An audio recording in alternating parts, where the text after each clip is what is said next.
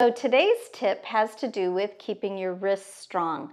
I love multitasking or layering. So what we're going to do is a rotator cuff exercise where we keep our wrist, wrists stable. So essentially what you're doing is an isometric hold with your wrist. You're not letting it drop, you're not curling it up. There are wrist strengthening exercises where you do just this, but let's do an isometric hold and really grip the weight without getting tension in our neck. Pin your elbows to your side, and we're going to do a simple rotator cuff exercise, keeping our wrists stable to strengthen our wrists, but we're multitasking and getting some beneficial work in our shoulder. But let's pump it up and make it more beneficial.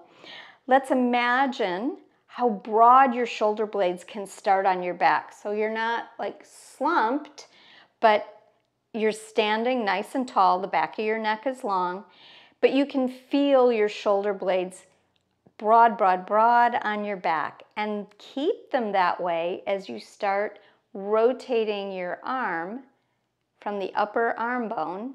And then right about there, my shoulder blades start to draw together and I come back. So I'm allowing my humerus to rotate the top of my arm bone to rotate, holding my shoulder blades as steady as I can, and then I allow them to come together.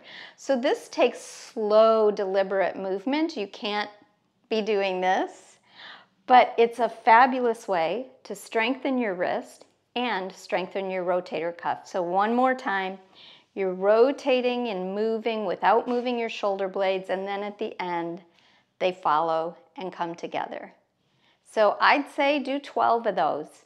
And when you get to 12, go to a heavier weight. You can use a water bottle or weights, even kettlebells, anything that you hold in your hands that has weight to it.